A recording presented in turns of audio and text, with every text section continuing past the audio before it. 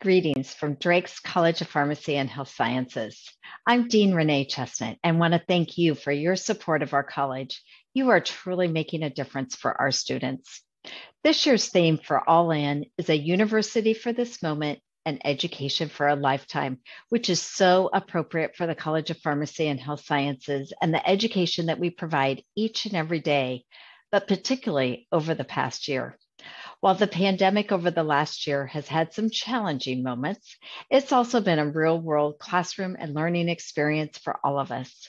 I am so proud of this college's students, faculty, and staff for coming together to be diligent and resilient in carrying out the college's mission of preparing today's learners to be tomorrow's healthcare leaders.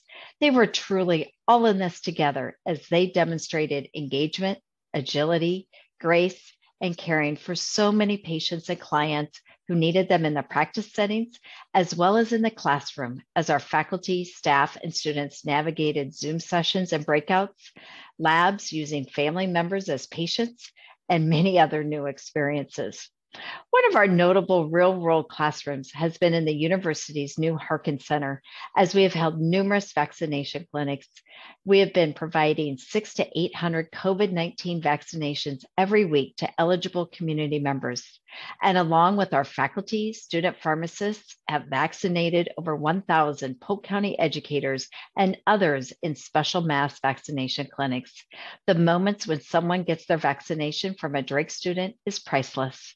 Truly an education for a lifetime for those students administering life changing vaccinations.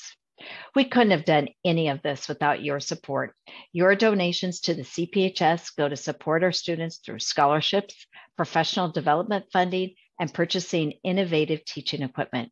Thank you so much for being all in for Drake, for the CPHS, for our faculty, and most importantly, for our students.